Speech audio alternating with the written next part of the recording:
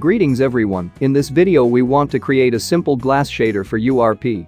First, enable the opaque and depth texture on your universal render pipeline. Opaque texture provides a snapshot of the scene right before URP renders any transparent meshes.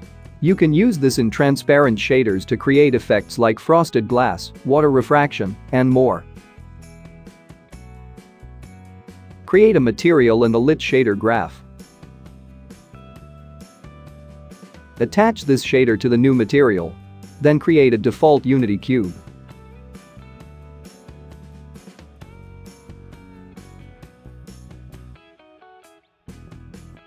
Open Shader Graph. In Graph Inspector, change the surface to transparent. Create two floats for metallic and smoothness.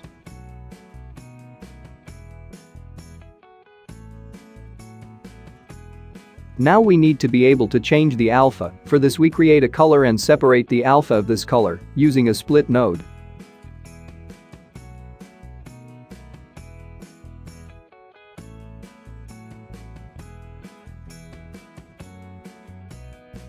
We used view direction and normal vector to access the mesh vertex. Reflection probe node provides access to the nearest reflection probe to the object requires normal and view direction to sample the probe. Using the LOD input, you can achieve a blurring effect by sampling at a different level of detail. Multiple the reflection output with a new float called reflection strength. And finally, put this result into emission. Now we going to change the base color and normal, for that let's create a simple noise which is noise based on input UV. The scale of the generated noise is controlled by a property called noise scale.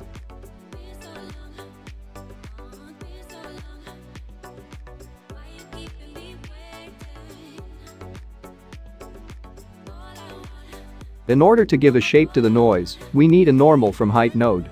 And a normal strength float to control the strength, after that connect the result to normal.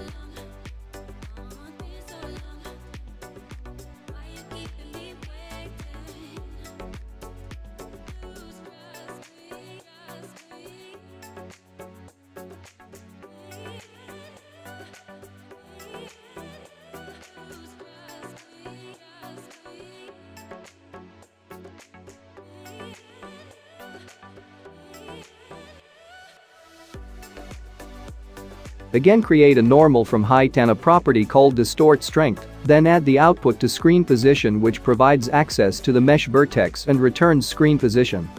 For the last get the scene color and multiply it by glass color.